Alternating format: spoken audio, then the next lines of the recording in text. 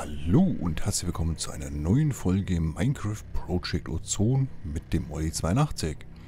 Guten Tag. So, äh, wir hatten vor zig Folgen, vielleicht waren es auch nur zwei, ich weiß es nicht, ein paar von den Storage Drawers hier aufgestellt. So, wir werden die jetzt nochmal abreißen, weil wir machen aus den Storage Drawer nämlich was Sinnvolles. Weil wir haben jetzt ein bisschen Material, wir haben ein paar Maschinen, die miteinander verbunden sind. Und dann nehmen wir uns einfach mal einen Stapel davon mit.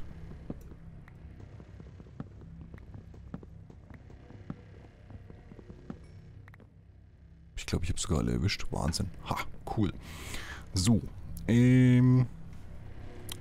Denn wir machen uns aus den Storage Drawern, nämlich kein Manolyn, nein, sondern wir machen uns daraus nämlich sogenannte Compacting Drawers. So, die Compacting Drawers bestehen aus Pistons, Eisen und Stone. Stone haben wir ein bisschen was mittlerweile, glaube ich, durchgebrannt. Dachte ich. Nein? Nein? Nein! Okay. Okay. Nehmen wir uns einfach mal. Weißt du, was denn? Weil es ein Redstone Furnace, da geht es dann ratzfatz. Genau. Deswegen, ich packe das schon mal rein. Und im, Al uh, im Alloy-Smelter schmeiße ich jetzt einfach nochmal Eisen, Eisen, da, Eisen rein. Zum Alloy-Smelter sollte man vielleicht noch dazu sagen, das Icon da unten ist wichtig. Äh, da gibt es drei Modis. Momentan arbeiten wir im sogenannten Furnace-Mode. Oder beziehungsweise ja, im Furnace-Mode, All Smelting. Er verarbeitet hier gleichzeitig drei mh, mm, pulverisierte Eisen zu drei Iron Ingots. Braucht aber auch die dreifache Zeit dafür. Ist natürlich ein bisschen mm, mm, mm, grenzwertig, aber okay. Dem werden wir nochmal ein Upgrade verpassen. Vielleicht schaffen wir das noch diese Folge, vielleicht aber auch als nächste. Heute soll es erstmal darum gehen, dass wir uns irgendwo eine Ablage schaffen, wo wir unser Zeugs hinkriegen. Quasi ein Storage-System. Manche Leute kennen das schon, wie wir das machen. Äh, Compacting Storage Draw, also Compacting Drawer aus dem Mod Storage Drawers, so muss ich sagen, ist eine richtig coole Geschichte. Äh, ich denke, das reicht mal fürs Erste. Können wir uns ja gleich noch mehr holen. Holz. Haben wir auch noch ein bisschen was da. Das sieht gut aus. Ein bisschen Redstone brauchen wir noch. Redstone. Haben wir da so wenig bloß noch? Oh oh. Redstone wird langsam eng. Na gut. Aber jetzt haben wir alle Grund. Schmeiß gleich mal den Sieb. Hast du noch das? Oder ja. können wir zur Not mit dem Hammer erzeugen? So, dann machen wir uns jetzt hier erstmal ein paar Pistons. So, Pistons. Was fehlt uns? Cobblestone. Haha. Cobblestone Field. Merkwürdige Geschichte. So, Pisten.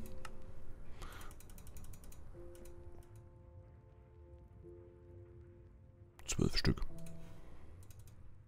So. Okay. Was da alles immer für komische Sachen rauskommt zwischendrin. So, dann können wir nämlich hier, wenn wir, haben wir doch schon alles da können wir uns die ersten sechs Compacting Drawers schon mal bauen. Genau. Und die stellen wir jetzt uns einfach mal dahin. Machen wir ein bisschen Abstand dazu. Genau. Eins, zwei, drei, vier, fünf, sechs. So, die Fackel nehmen wir auch wieder mit.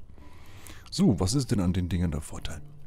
Wir nehmen jetzt einfach mal die Iron Ingots, die wir hier noch in der Tasche haben, packen die links unten in die Kiste rein und sehen, wir haben oben Block of Iron und wir haben rechts unten Iron Nuggets. Wir können uns jetzt hier fröhlich Iron Nuggets rausnehmen. Wir können uns jetzt hier fröhlich Iron Ingots rausnehmen. Und wenn wir genügend Sachen drin hätten, könnten wir uns auch einen Block of Iron rausnehmen. So, und das können wir auch alles wieder zurückpacken und der rechnet das immer sauber um. Wunderbare Geschichte. So, dasselbe können wir natürlich mit Gold machen. Gold. Hm, machen wir hier. Und dasselbe können wir machen mit Kupfer. Und dasselbe können wir machen mit Zinn. Welches Zinn haben wir denn hier gerade? Tinkers Construct. Ist eigentlich nicht das schöne Zinn. Das aus Thermal Expansion gefällt mir fast ein bisschen besser. Ähm, hm, schauen wir mal, ob wir das hier rauskriegen. Genau. Ting, nein, Tinkers Construct schon wieder. Mist. Ähm, wenn wir den Tin Ingot nochmal brennen im Redstone Furnace, kommt dann das Richtige raus? ich noch Zinn einstecken? Das muss man mal zeigen können. Silber, Eisen. Hast du noch Zinn? Zinn? Zinn? Zinn? Einstecken. Hm? Nein? Hm, Okay. Schauen wir nochmal da vorne. Zinn, Zinn, da, Zinn. Nehmen wir noch vier davon. Äh, da, vier. Das jagen wir einfach mal. Genau. Das können wir natürlich hier jetzt locker mal in den Hammer reinhauen. Oh, er arbeitet hier gerade Osmium durch. Dann können wir natürlich noch einen Moment warten. So viel Zeit muss sein, denn Material muss sauber durchgearbeitet werden.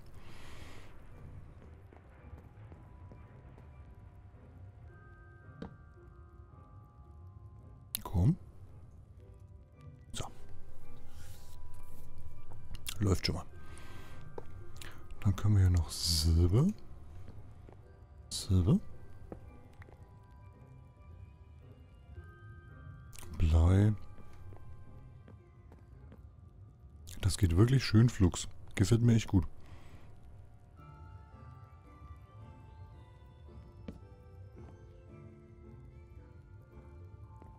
Hm, kommt wieder Tinkers Construct raus. Okay.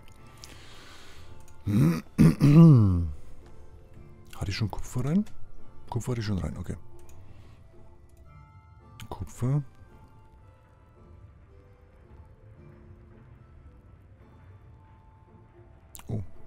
Ist ja nicht mehr geworden. Schade eigentlich. Na gut. Tin Ore Sand. Lass mal nochmal durchlaufen. Und währenddessen können wir hier noch ein bisschen brennen. Pharaohs. Ach, geht das schön schnell. Ich liebe es, wenn das so schön schnell geht.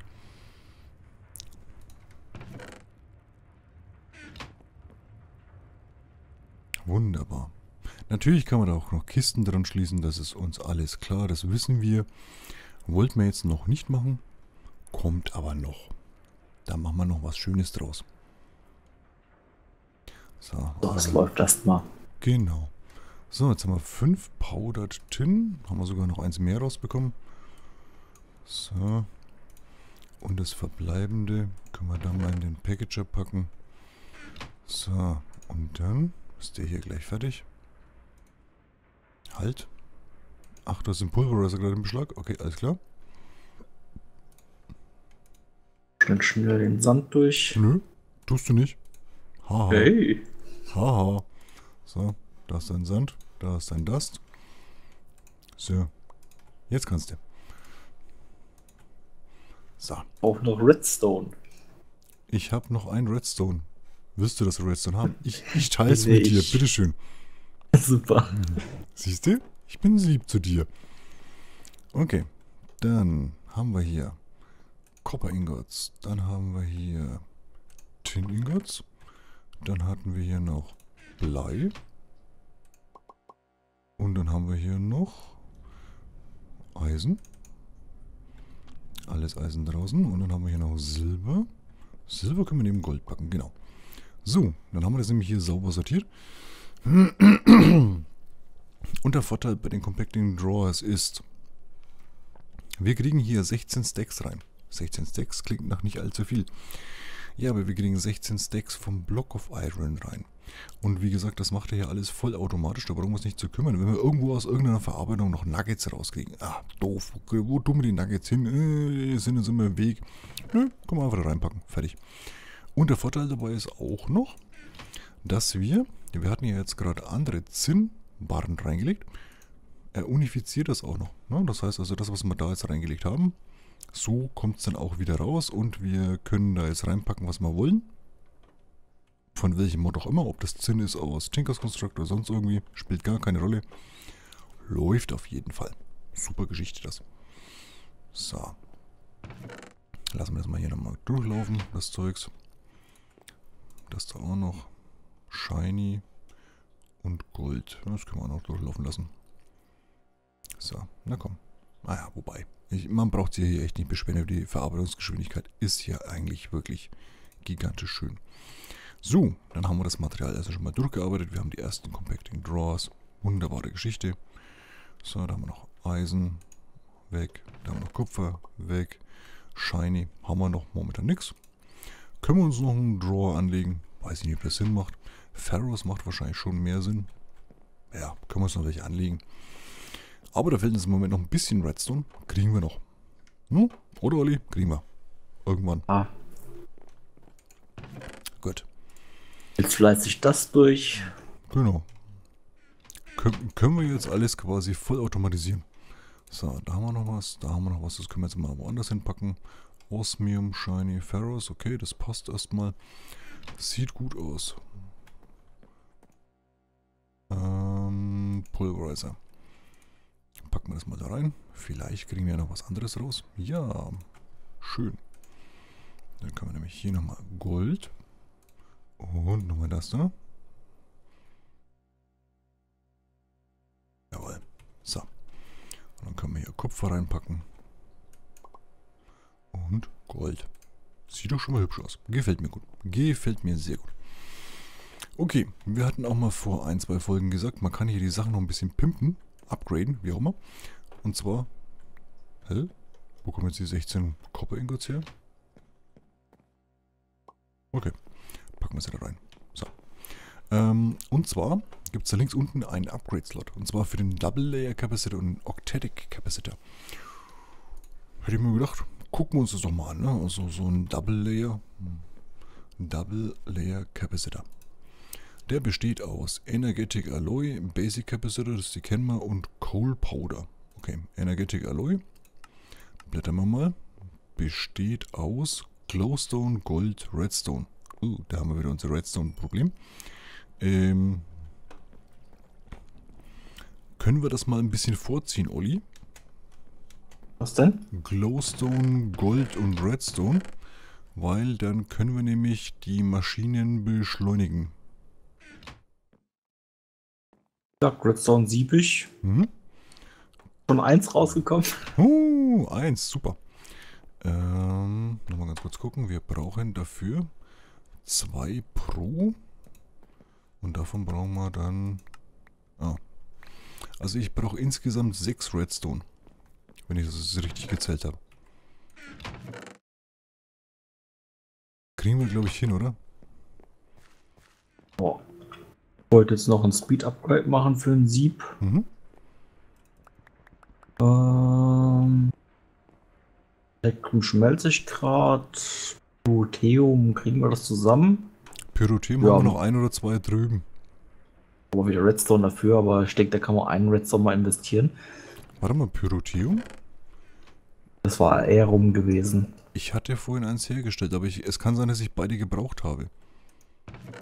Hm, Nö. Nö, haben wir keins mehr da. Okay, haben wir keins mehr da. Kriegen wir noch. Ich klaue mal einfach mal schnell. Ich klaue mal schnell die drei. So, er hat es nicht gesehen. Was? Na, nix, nix, nix. So, wir stellen den For Furnace. Speed Upgrade.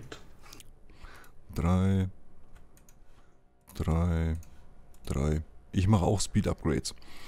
Und ein Energie Upgrade.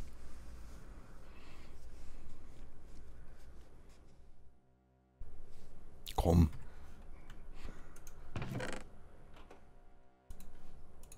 Auch schon irgendwo. Ah, da.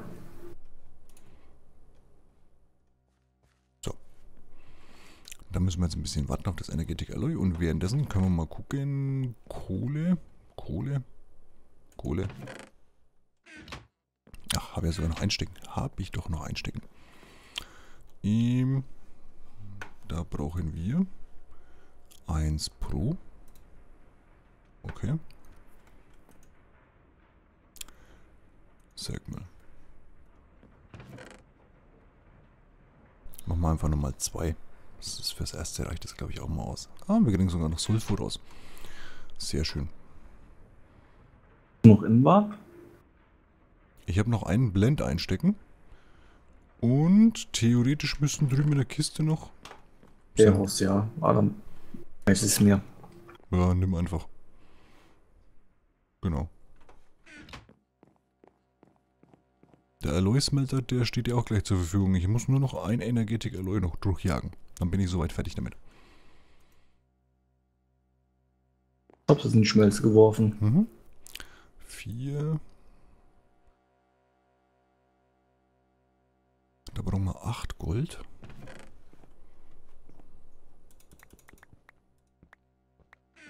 Zwei Kupfer. Der Blattmond kommt Der aber heute häufig, du. Links.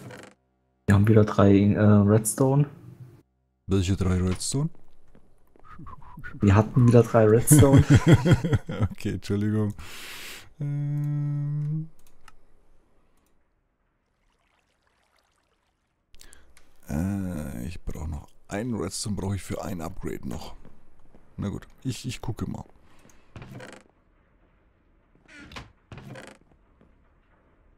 Hast du das Elektrum aus dem. Je ja, hab ich. Okay. Bitteschön. Ja? Ich warte nur noch auf einen Redstone. Dann bin ich fertig. Mit dem ersten Upgrade.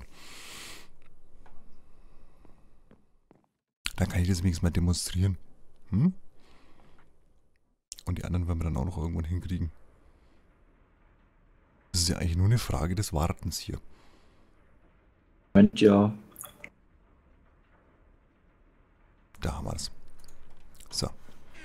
Da haben wir den zweiten. Gleich auch eine Frage der Energie, wenn die Sonne. Äh, ist schon weg, okay. Ist gleich kein Thema mehr, die Energie. So. Und jetzt können wir uns...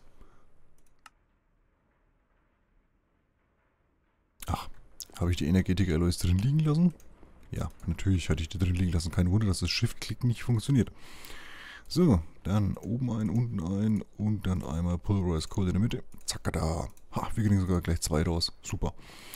So, was macht das Ding? Wir fangen mal links oder rechts an. Ja, fangen wir mal links an. So, wenn wir in die Segmill das Teil reinpacken, sehen wir erstens einmal, dass er die doppelte Kapazität hat. Ja, also da kann man jetzt dann deutlich mehr Energie speichern und die Maschine läuft deutlich schneller. Beim Stirling-Generator ist das so eine eigene Geschichte. Ich packe jetzt mal ein Stück Kohle rein und wir sehen, er verbrennt 250 RF pro Tick und generiert 200.000 RF in Summe für ein Stück Kohle. Das lassen wir jetzt einfach mal durchlaufen. So viel Zeit muss sein. Wir haben ja Zeit. Oder doch nicht? Eigentlich egal. Wir nehmen uns die Zeit einfach mal. Und sehen schon, er ist also relativ schnell durchgelaufen. Er läuft noch 15 Sekunden. Das sieht man auch ganz schön im Mouse over. Remaining, remaining, remaining, remaining und gleich ist er durch. Na, das ist aber nicht so unbedingt das Gelbe vom Ei, hätte ich gesagt, ne? Naja. Okay. Also er ist durch, hat jetzt 200.000 RF produziert. Packen wir mal den Double Layer Capacitor rein und gehen einfach mal mit der Maus jetzt über das, die Kohle. Wir generieren jetzt über, Moment, nicht, dass ich das falsch erzähle. Genau, 200.000. Wir produzieren jetzt mit einem Stück Kohle 533.000 RF und das mit 500 RF pro Tick. Und es gibt noch ein Upgrade vom Double Layer Capacitor. Das gucken wir uns natürlich auch gleich mal an, nicht? Dazu brauchen wir nämlich leider vier Double Layer Capacitor oder lauter so komisches Graffel wie da unten hier. Ähm, Electrical Steel und Redstone. Da brauchen wir also einen ganzen Block auf Redstone und Electrical Steel. Electrical Steel, können wir uns mal angucken. Electrical Steel ist Silicon, Coal, Iron. Kriegen wir hin. Jetzt muss ich nur noch den Olli fragen, wie sieht's denn aus? Kriegen wir einen Block of Redstone noch in Kürze hin oder nicht? Wird wahrscheinlich schwierig werden, nehme ich an, ne? Weil du brauchst es auch. Mach erst mal aus. Du brauchst. Wollte eigentlich nur noch ein größeres Solarpanel dranhängen, aber das ist jetzt nicht so wichtig. Ähm, du musst jetzt einfach nur mal im Stirling-Generator mal... Ich gebe dir mal ein Stück Kohle, ja? Und nimm das mal ins Inventar, klick in den Stirling-Generator und dann mach mal ein Mouse-Over über die Kohle. Jo, da kommt schon ein bisschen was raus, schon klar. Ähm, mit, dem mach noch nächsten, gleich rein. mit dem nächsten Upgrade kommt noch mehr raus. Deswegen wollte ich das einfach durchziehen. Da kommt nämlich dann, ich sag's mal so viel, 1000 RF pro Tick raus. Ähm, ja. Unsere Kabel können das noch ab, nicht? Gerade so. Mhm. Und wie ihr seht, der produziert so viel Energie, dass alle unsere Maschinen voll sind und noch ein Plus an Energie hat. Puh. Okay. Aber natürlich müssen wir jetzt hier auf das ganze Redstone warten. Hm. Wollen wir das in dieser Folge noch machen?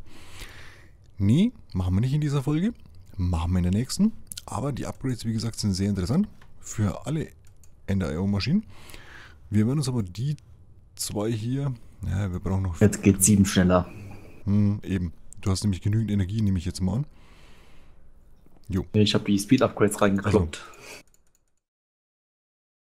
Und ich hau hier dann gleich nochmal ein bisschen Energie nach. Mal Kohle, komm. Kohle. So.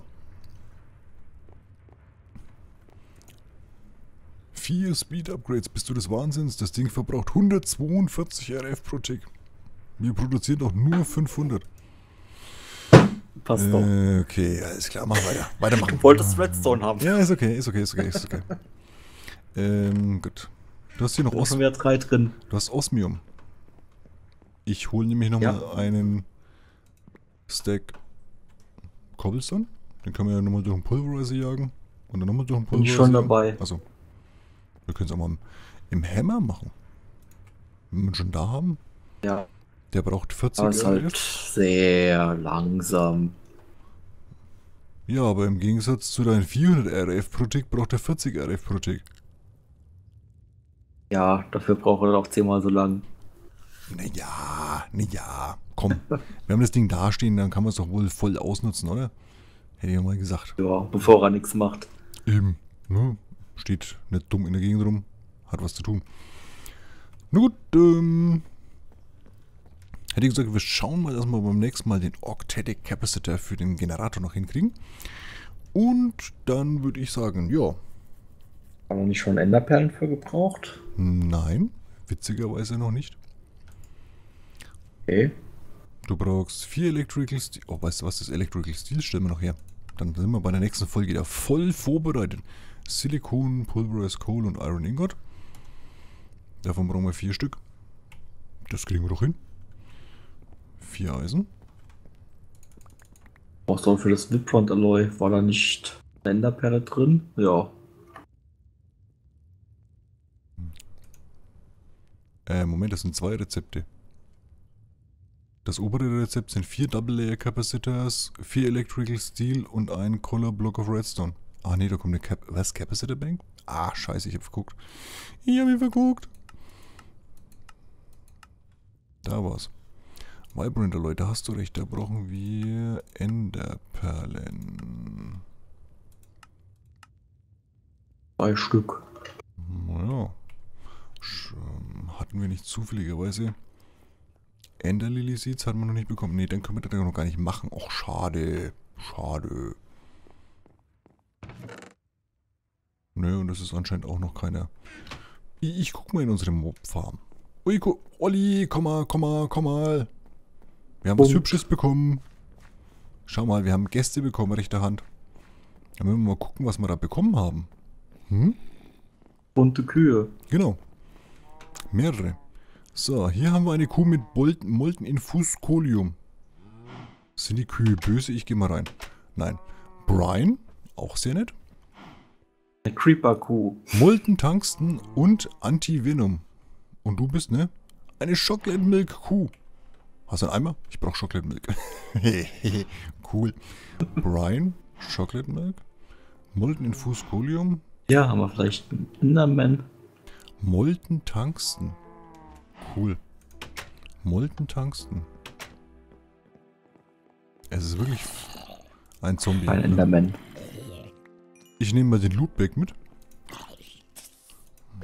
Das Einsammeln, meine Taschen sind voll. So, ich schaue einfach mal. Ich habe einen Common Loot Bag. Okay, wir gucken mal rein. Netherquarz nehmen wir mit. Dark Steel können wir nehmen. Das Brot lassen wir mal. Tath Alloy Boots. Whatever. Okay. So, den Lootbag behalten wir natürlich. Der ist schon gelootet, der Lootbag. Mit Ausnahme von einem Teil. Ansonsten ist hier nichts mehr drin. Okay. Na gut, ein bisschen warten.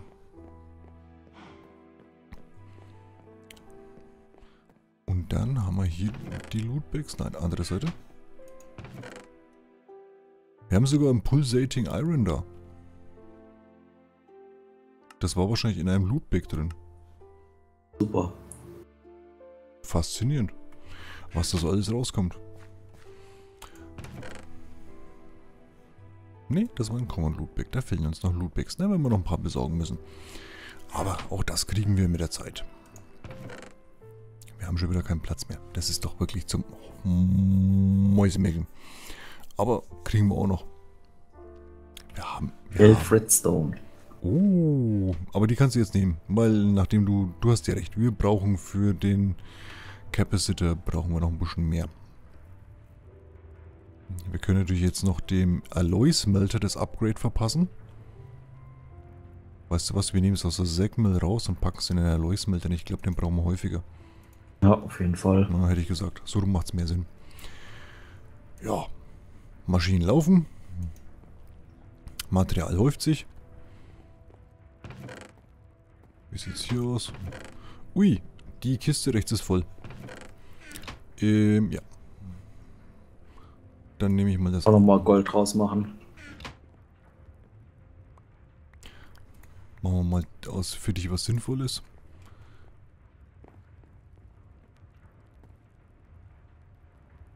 So, und was haben wir hier noch?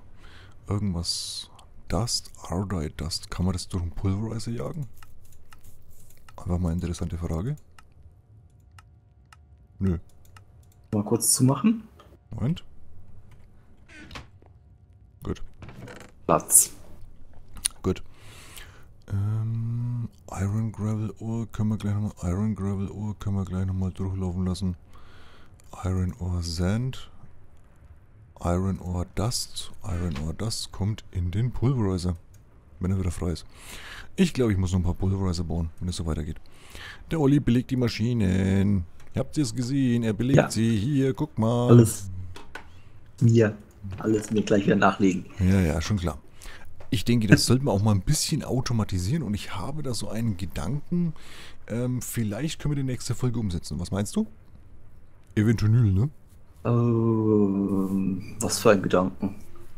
Mm, dass wir drei Maschinen nehmen und aus den drei Maschinen kommt dann Gravel, ähm, Sand und Dust und die dann eventuell in drei Sieves reinlaufen lassen und die dann weiterlaufen lassen.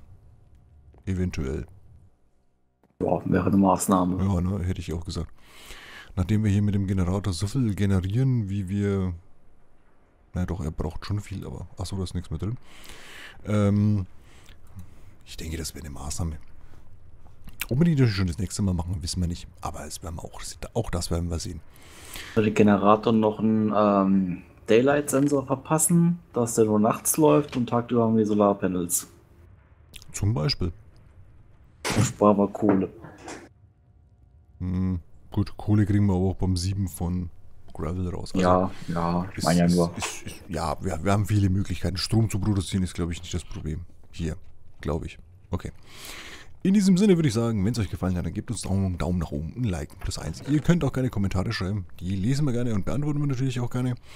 Ansonsten bleibt mir nur noch eins zu wünschen, habt eine schöne Zeit und wir sehen uns beim nächsten Mal wieder. Bis dahin, macht's gut, tschüss.